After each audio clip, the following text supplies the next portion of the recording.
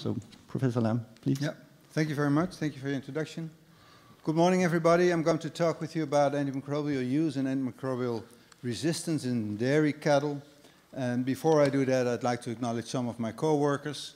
Um, uh, Inge Santman, Judith Keurentjes, Annette Heuvelink, and Maaike Gonggrijp, who really did the work that I'm presenting here today. I'm basically just following their work.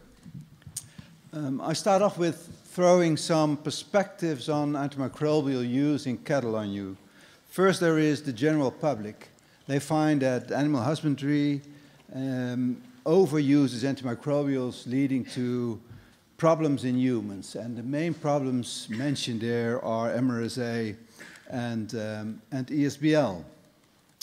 A second um, perspective, and then I talk from my own country, it differs per country, is the the perspective of the authorities. In our country, it was so that based on the worries in the general public, something had to be done. And in 2009, our parliament decided that the animal, that the uh, antimicrobial use in, in animal husbandry had to be reduced by 70% within six years. The third one, the third perspective is that of the farmers and the veterinarians. And what was done in our country was that a task force was established which basically had the approach that if there is a problem, it had to be solved, and that antimicrobial use had to be decreased while preserving animal health and, um, and welfare. And then finally, and that's what I'm going to talk most about with you today, is the perspective of the scientists. And our perspective is to monitor the problems, the activities, and the effects, and to, to do that as much as possible evidence-based, and to publish that in scientific journals so that we can discuss about that um, together. The task force, the approach of the farmers and the veterinarians I've talked to you about two years ago at the, at the meeting in, uh, in Dublin. Um, uh, and I went into detail on what we did there to change the knowledge, attitude, and behavior of farmers and veterinarians and everybody working in the field, and the, that we did that in cooperation between the different stakeholders in our, in our country. I went into detail about um, uh, uh, changing of behavior of, on the reset model that we introduced uh, and that we applied on antimicrobial use that goes on rules and regulations, education, social pressure, economic impulses and tools that can be used. We applied that on antimicrobial use and I'm not going to talk about that today. You can read it in, uh, in the Irish Veterinary Journal, what we wrote about that. Bottom line was that we, that we were able to reduce antimicrobial use in our country, and I have to say this is in all animal species, not only in dairy, but we were, we, our country was successful in that. What I'd like to talk with you about today is the, the scientific, if you like, approach to, uh, to test the hypothesis or the idea in the general public whether or not um, the overuse of antimicrobials in animals and more specifically today in cattle, does lead to problems in, uh, in humans. Well, there is some reason for the public to believe that. If you look at MRSA and ESBL, and I'll mainly talk about ESBL this morning, um, the prevalence of MRSA in hospitalized people in the Netherlands was 0.03%, whereas it was 39% in pigs and 23% in pig farmers. So there's some reason to believe that there is a problem with MRSA in, um, in animals. Same for ESBL, ESBL producing uh, E. coli bacteria. I'll tell you a bit more about that in a minute. 94% of chicken fillets just in the shops is positive on ESBLs. And 35% of human isolates had chicken ESBL genes, so there's a, uh, seems to be uh, an overlap there. And 19% of those isolates, of human isolates, were were not to be, to be distinguished from, from chicken isolates. So there is some reason to, to, to pay attention to, uh, to that. We started off with uh, MRSA. I'm not going to talk a lot about MRSA, but show you some slides that we, uh, on work that we did in the past. You, you probably know that there are different types of MRSA, the hospital-associated types and the community or livestock-associated types. And all the isolates that were, uh, uh, were found in pigs and in pig farmers were MLST 398, which is the livestock associated strains. We did some studies on, on MRSA in, um, in dairy. It is uh, somewhere around 2004, 2005, I think, that we in our lab found the first MRSA that we uh, found, first time that we found it in, um, in milk. And we followed that up, and, and uh, one of my for former colleagues, Richard Olde Riekerink, did a nice study in those days where he, he identified all MRSAs that were found in, um, in milk.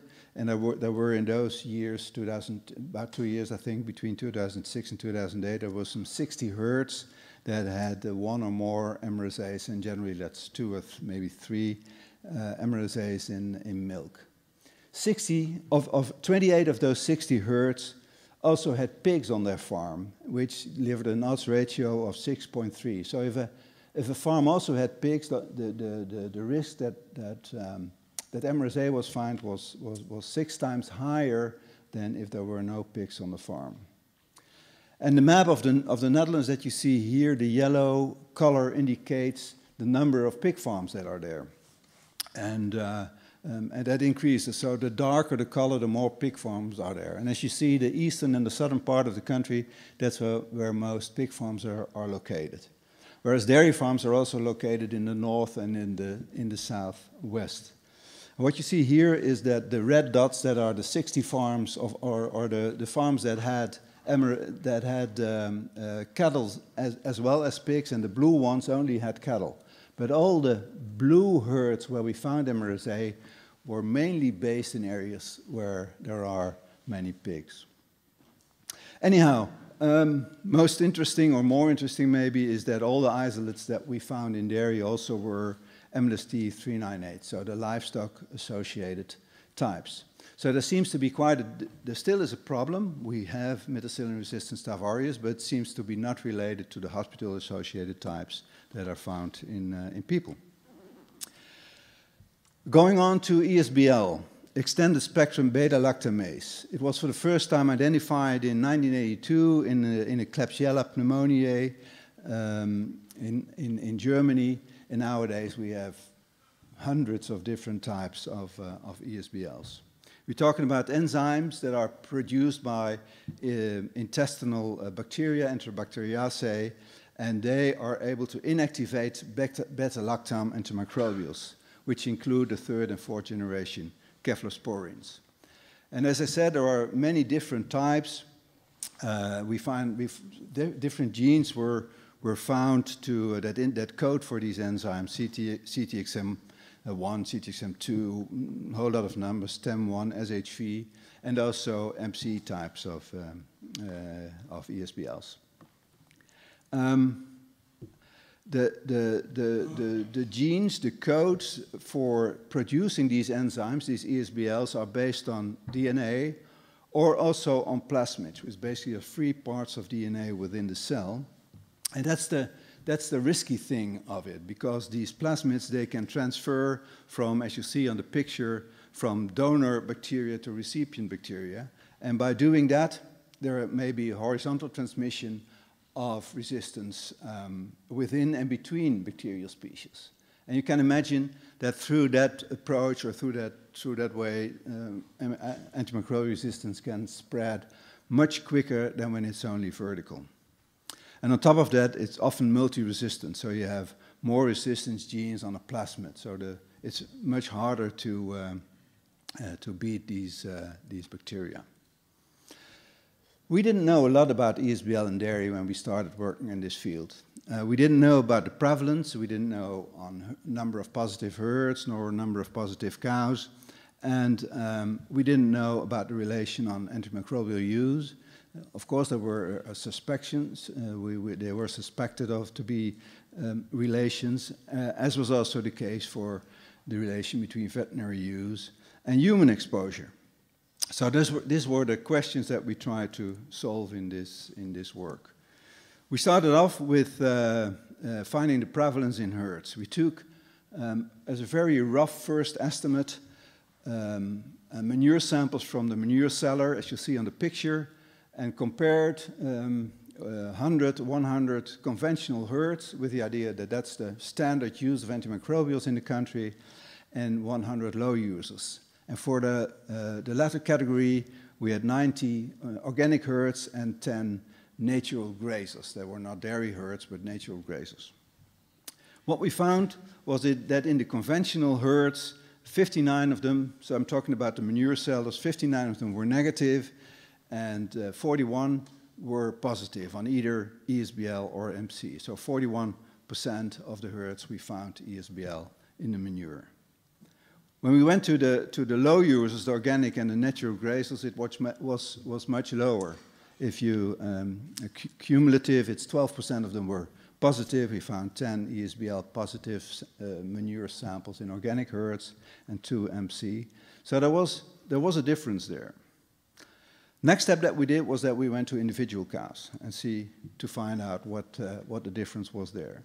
So of the ESBL positive conventional herds, we took um, uh, 10 uh, positive herds and 10 ESBL negative herds, and we sampled 24 individual cows on both uh, types of, of herds. And that was half a year, approximately six months after the first sampling. And what we found was that in the, in the, in the originally ESBL positive herds, so the, the, the left part of the, of the table, six of them in the manure samples from the cellar, which we did again, had turned negative. Four of them were still positive, uh, and some, two of them had changed from ESBL to AmpC types. Uh, in the originally negative herds, eight were still negative, whereas two turned positive. So apparently there's some change there. And then going to the individual animals, we found that in the, in the negative, originally, or in the negative herds, originally positive but then turned negative, um, hardly any individual animals were positive. Um, whereas in the originally negative herds, that was the same, but also the number of positive animals was very low. So what you see here is that there were two herds, or, or basically four herds that had stayed positive over that period, and in two of them, all animals that we cultured were individually positive. And then remarkably enough, some were dead on ESBL and others on, on AmpC. So it it's, feels like there's something spreading, maybe temporarily, in a herd. This was the first rough approach to have an indication on what was happening on ESBL in these, um, in these herds. So apparently there's more ESBLs in regular than in organic herds, or in conventional if you like.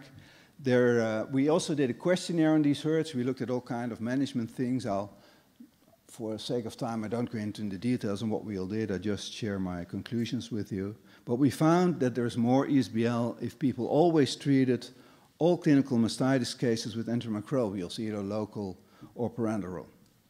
Um, we also found that the total antimicrobial use in these herds was not related with the prevalence of ESBL, whereas the use of critical important antimicrobials is related to the prevalence of, uh, of ESBL.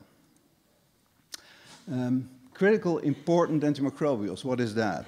We have a system in our country where there's first, second, and third preference antimicrobials, which means that you, as a first preference, use certain types of antimicrobials, and the third preference, which is the critically important antimicrobials, we try to use um, as, as little as possible. There really has, has to be a good reason for that, to use them. What you see here is those types of antimicrobials, third, fourth generation cephalosporins, fluoroquinolones, long-acting macrolides, and polymyxin B and E, colistin if you, um, if you like. And um, uh, we found in our studies, I just showed you, that the use of that type of antimicrobials was related to ESBLs in those herbs. And we published that in Dairy Science two years ago or so. And that was not the first time the group of Snow uh, published that in Preventive Veterinary Medicine in 2012 already. But we confirmed that, and ever since there were many studies that showed that, uh, that relation. So what happened in our country was that the, the, first, second preference type of antimicrobial use, as I just explained to you, um, uh, made a big change in the use of this type of antimicrobials. Ever since 2012, the use of uh, third and fourth generation cephalosporins in dairy herds decreased enormously, as you can see in this, um, in this graph. They're only allowed to use when there's no other choice, when there's no alternative, and when based on sensitivity testing, it has been shown that you really need them, with the effect uh, that you see here. Okay, when we knew that, there still were a lot of questions to be answered on, on ESBL.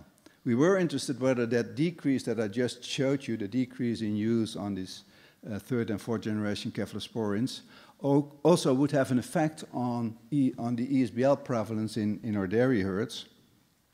We found that the ESBL infections apparently seem to be temporary, that you find infections but that they appear and disappear in time, but we didn't know anything about uh, their dynamics. And we also didn't know anything about the age distribution of ESBL in cattle, whereas that was interesting because we find a lot of ESBL in, uh, in field calves, and as you know, these calves originally come from um, dairy herds.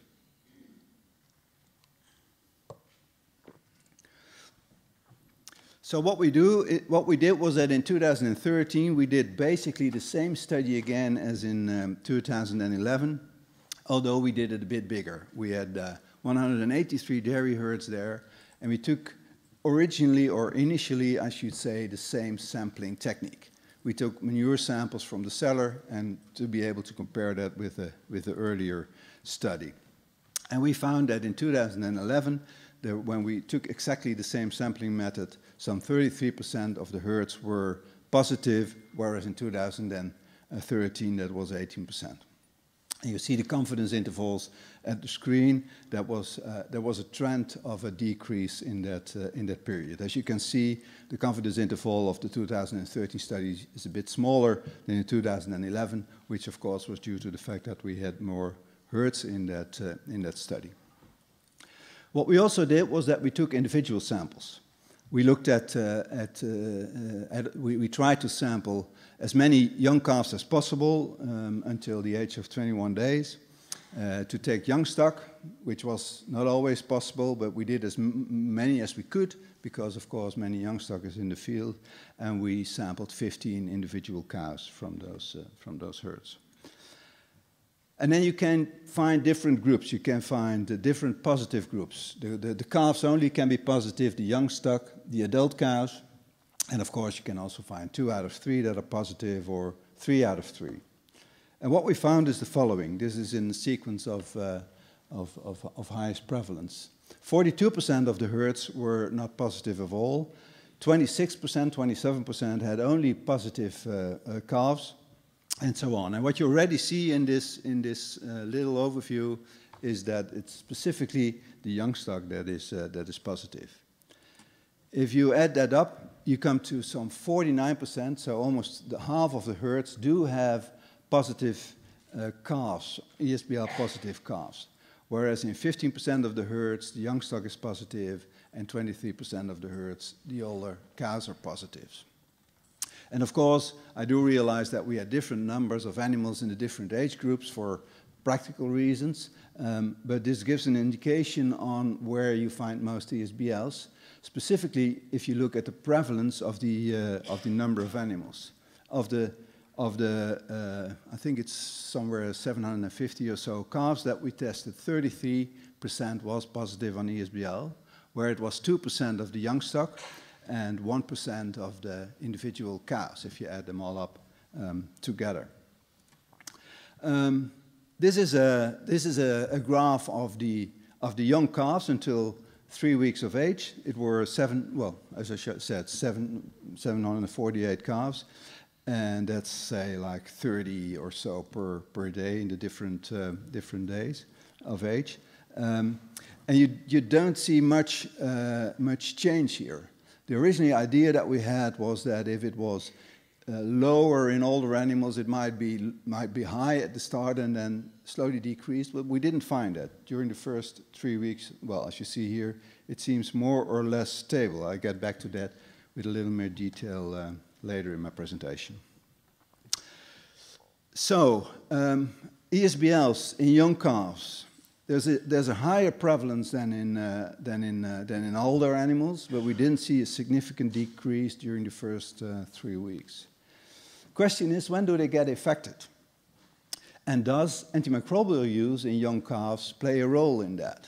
Talking about antimicrobial use in animals, and I've talked about that in Dublin, there's a couple of, of, of uh, touchy points in dairy, which is dry cows, which is the, the critical important antibiotic, but also young stock because we use so little antimicrobials in dairy, because we deliver milk, and um, that is sort of an internal driver for farmers not to use too much antimicrobials. Where that is not the case in young stock, because they don't deliver milk. So does, do, does antimicrobial use play a role, or antimicrobial residues play a role in the high ESBL prevalence in young calves? First thing that you think of is the use of, uh, of waste milk. Um, we don't know exactly how much that is in our country. There was a study from Randall from the United Kingdom where they described that some 83% of the herds in the United Kingdom feed waste milk and microbial, uh, so, so potentially uh, milk with potentially antimicrobials residues in it to their calves. And there was one report, a governmental report in our country, that some 10% of herds in our country use waste milk to feed their bobby calves, their bull calves. I don't know whether that's true, yes or not. My, my, my feeling is that that's an underestimation, but I, I don't know. We don't have data on that. The study of, uh, of Randall, uh, which was published in, in Research in Veterinary Science, is, uh, is a very detailed study on, on this effect and is uh, worth uh, describing here. What they did is that they followed up some uh, 120 herds, had a bit over 100 waste milk samples, where they found um, in 66 of them antimicrobials, penicillin G, cefquinome, and where they found in almost all herds Enterobacteriaceae positive um, uh, uh, uh, animals, of which a limited number, seven, was ESBL positive.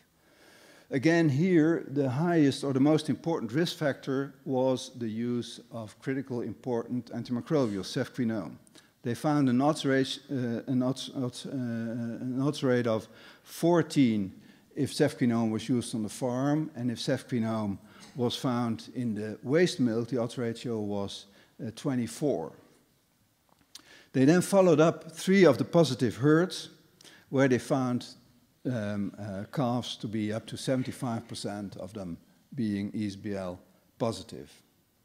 We're in our country, based on the whole discussion on antimicrobials, there was somewhere they found a law that it is forbidden to, to give waste milk to calves, which made it virtually impossible for us to study it, to find people that did it and participate, etc., etc. So we didn't do any work on, on waste milk, but I think this paper is, uh, is informative enough.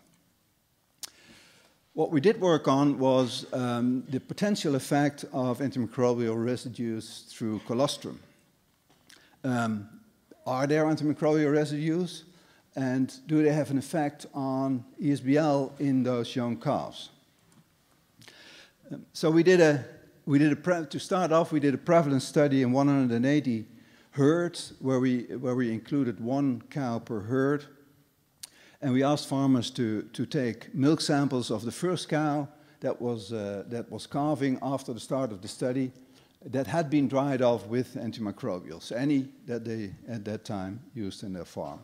And we asked them to take four quarter samples, and we pooled that later on, and then we did a microbiological analysis of that colostrum uh, sample, and we did an LCMS to test whether or not there were antimicrobials in, um, in that.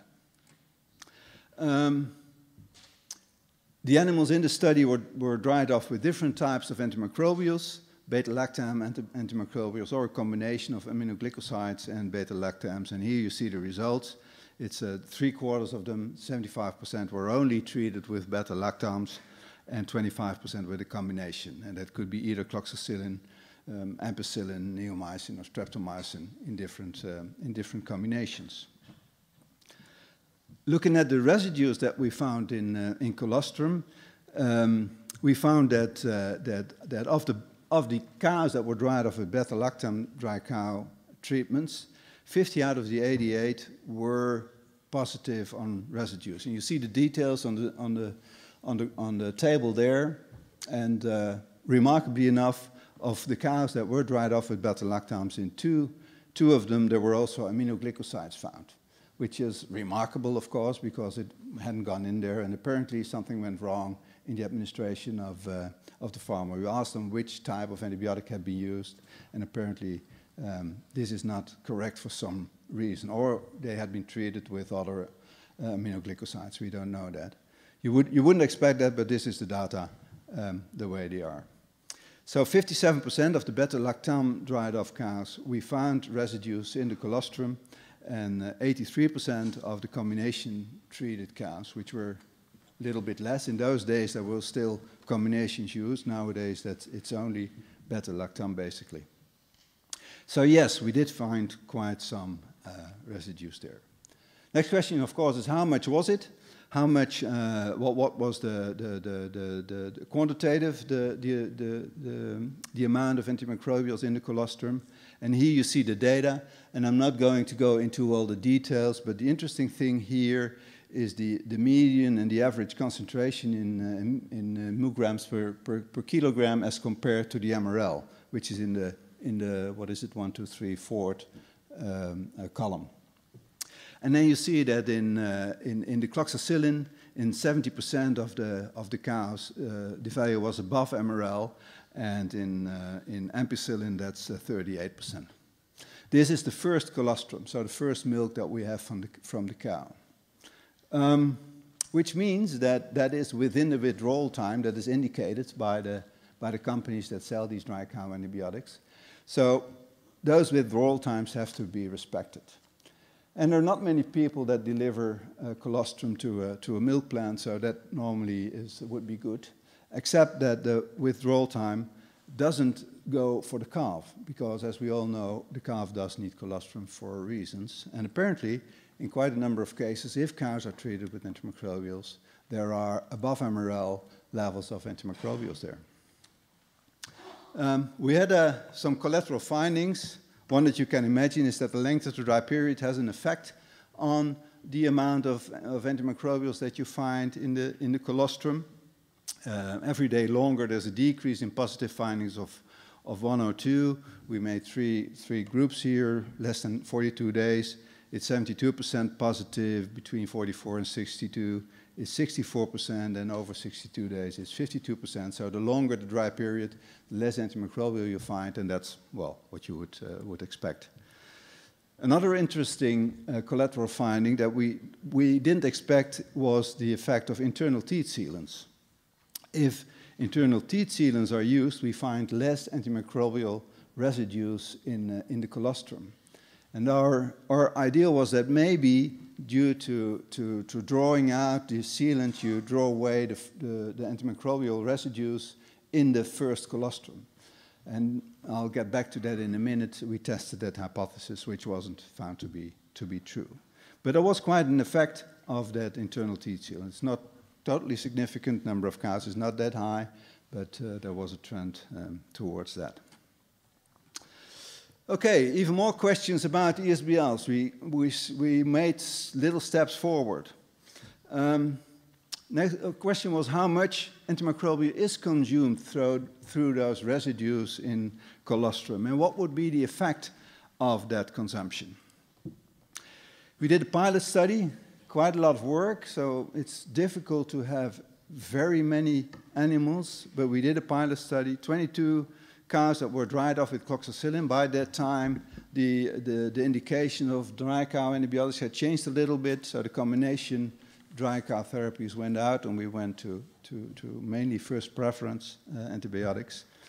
We sampled the animals for seven milkings with, with, with specific attention to the first, uh, the first milk, as I just indicated, because of our hypothesis on the internal teat sealants.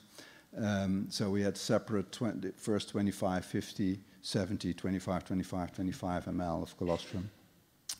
And we did an antimicrobial uh, uh, analysis of that, and we quantified the antimicrobial consumption of, of those animals based on what we found and the weight of the, of the colostrum and the, and the colostrum consumption of those, uh, of those calves.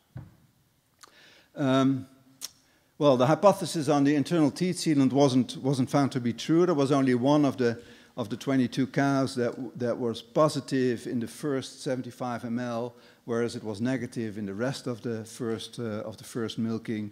There were six that where the concentration actually was higher in the first 75 ml and lower in the rest of the first milking, and 15 of them it was the opposite. So the idea to maybe withdraw the first 75 or 100 or so uh, ml to get rid of the antimicrobial residues, that, that didn't work. How it does work with the internal teat sealant, we don't know, but there still is a nice hypothesis to, uh, to test there. Um, this is what we found in residues. Um, the cloxacillin concentration on the, on the y-axis and the number of, uh, of milkings or the milking order on the x-axis. And as you can see, the, there is a strong reduction over the first few milk, milkings in the cloxacillin concentration. It is below MRL from the third milking on.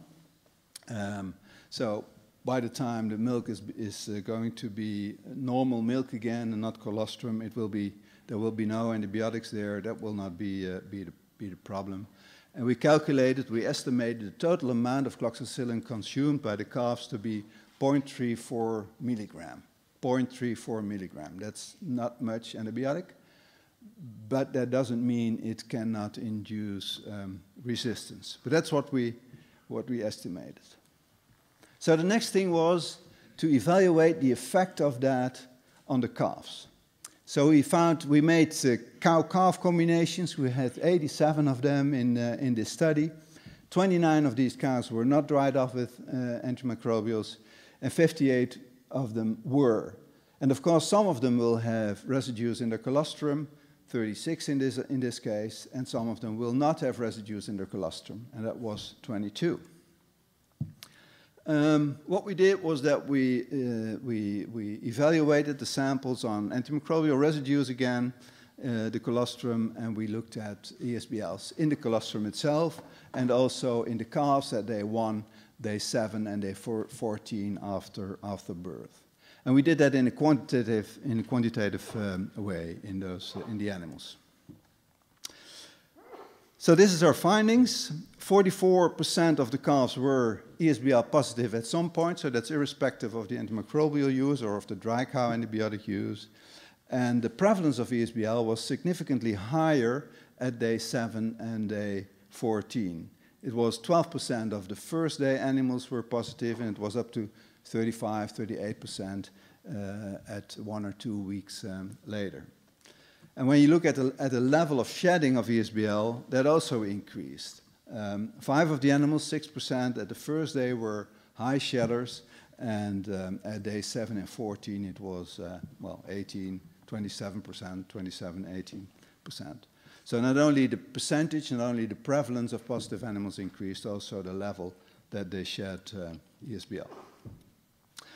Comparing cows that were dried off with uh, cloxacillin dry cow antibiotics and without, we didn't find a difference in ESBLs in, uh, in the calves, 45 and 41%. Comparing cows that did have cloxacillin uh, residues in their colostrum and that did not have residues in the colostrum, there also was no significant difference, 49 versus 40%.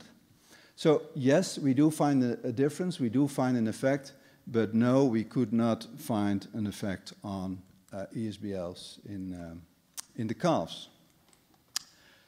No significant effect of the use of dry cow antibiotics on the prevalence, nor on the shedding. I didn't show the numbers, but also on the level of ESBL shedding in the young calves. Um, we did find, we again had a collateral finding, is that the cows that were fed with colostrum with a higher total coliform count were less often positive on ESBL AmpC producing E. coli. And what was the basis of that, I'm unable to tell you at this time, maybe in a few years, but that's one of the remaining, uh, re remaining questions that we, uh, that we have. Another thing that we currently are looking at is uh, what's the effect of that, of, that, uh, of those uh, cloxacillin residues on penicillin resistance in, in staphylococci. That may be a thing there too, that if you have very low um, uh, uh, antimicrobial levels in that milk for a long time, what effect would that be on, uh, on Staph aureus or other staphylococci? Okay, I'm going to the end of my talk.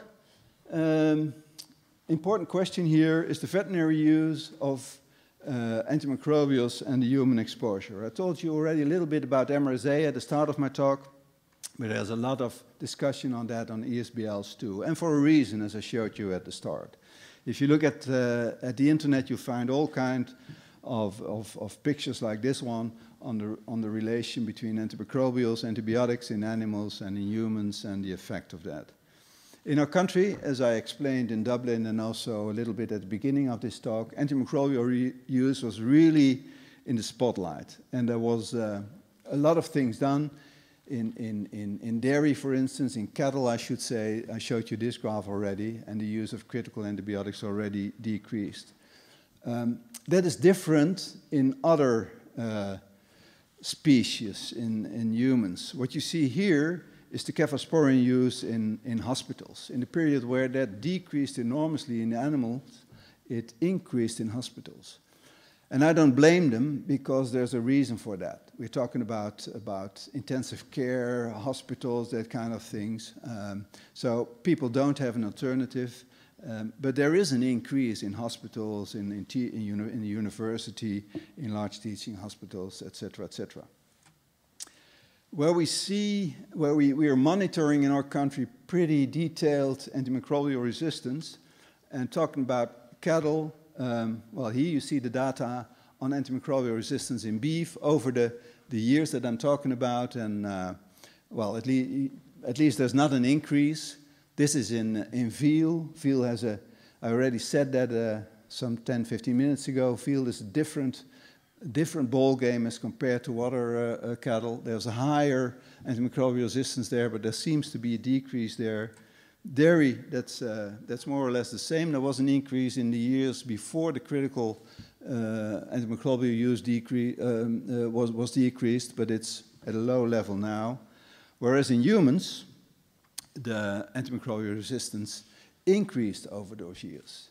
Again, I'm not blaming them, but I'm sort of comparing on what's the effect of what's, you, what's going on in animals and in, um, in humans.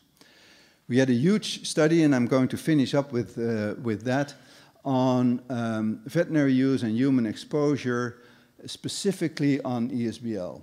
Um, you see a, a, whole bunch of authors here. That's how it goes with these, uh, with these studies. A national overview study on, from 2005 to 2015 in our country in which some 35 studies were included, some um, um, um, um 27,000 samples, like 5,000 ESBL isolates and 1,000 replicons of, of AmpC, that type of, uh, of study.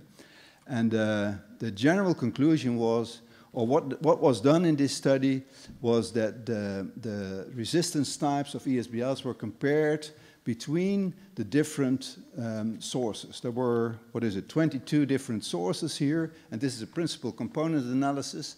And what you see here on the, on the left-hand side is the types of, uh, of, uh, of, sources that are, that are there, and uh, ah, there it goes. The H is talking about humans, the E is environment, the F is food, and the A's are animals. And what you see here is there's basically a group of poultry here that's together. This is the humans, and the general population was found, ESBLs in the general population was found to be more related to, to clinical samples from humans than to, to, to, to chicken or to other animals. This is the group of, of, of, um, of, of dairy, of pigs.